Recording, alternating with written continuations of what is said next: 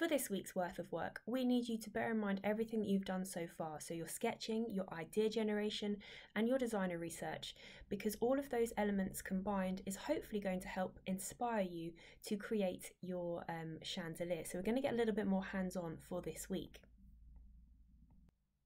Now, if you think back to week one, you should have had a little look around the home to see what objects that are available to you that you could potentially upcycle.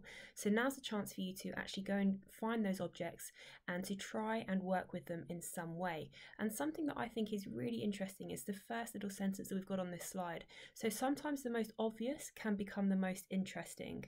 And if you have a look at the image below that, it's simply just some plastic spoons that have been um, chopped off um, so that you've removed the handle and they've just simply been stuck onto a large water container. And if you have a look at the overall um, aesthetic of the lamp, it's actually quite um, elegant. It almost looks like a pineapple. So in that sense, you could almost say that it has been inspired by natural forms in some way. It's very organic in, in the shape that it actually is in terms of the individual spoons, but also in terms of the overall product too. Um, but it actually works really, really well. And I think the thing that is particularly nice about this lamp is how the light comes out um, from underneath each one of those spoons. It almost has a gradient to it, which is really interesting and not something that I would necessarily have thought would happen. Um, from just sticking some spoons onto a water bottle. So it's a really, really interesting way to work. So um, try and think a little bit outside of the box with this particular section.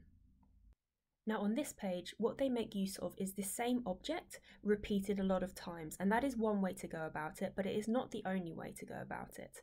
Um, so have a think Find as many different objects that you can. Obviously, objects that are available to you. Don't go stealing your mum's um, cutlery.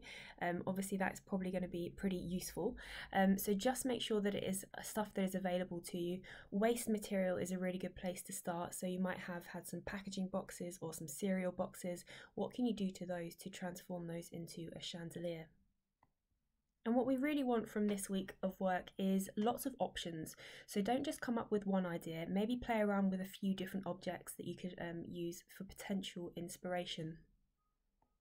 If you don't have enough of the same object, or if you don't have enough of any objects, my suggestion to you would be to take a photo of it in the right kind of orientation um, put it on a, um, a page and then try and sketch the rest of the, the chandelier so we still try and get an idea of what you're trying to convey with that object.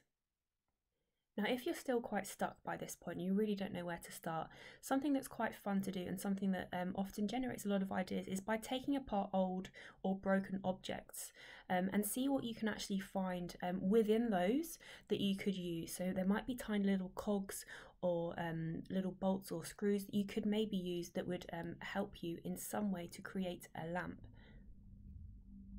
Now the image that you are seeing on the far right hand side, that is um, purely objects that somebody has found at the bottom of the drawers in their house.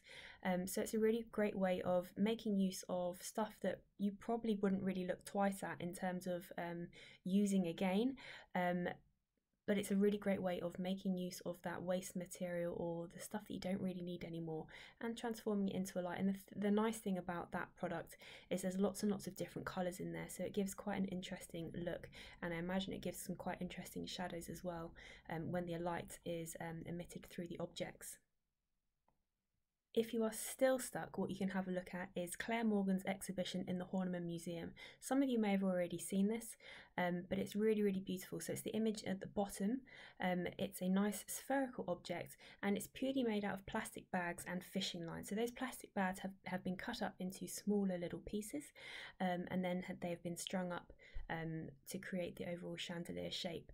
This one's really, really nice in the sense that the plastic bag's are obviously quite flimsy. Therefore, as soon as there's any sort of breeze, the chandelier seems to move and sway um, as as it sort of comes into contact with this breeze. So that's a really, really nice thing to think about. So if you've got quite a lightweight material that you're working with, could that perhaps um, add something to your chandelier to make it just a little bit different?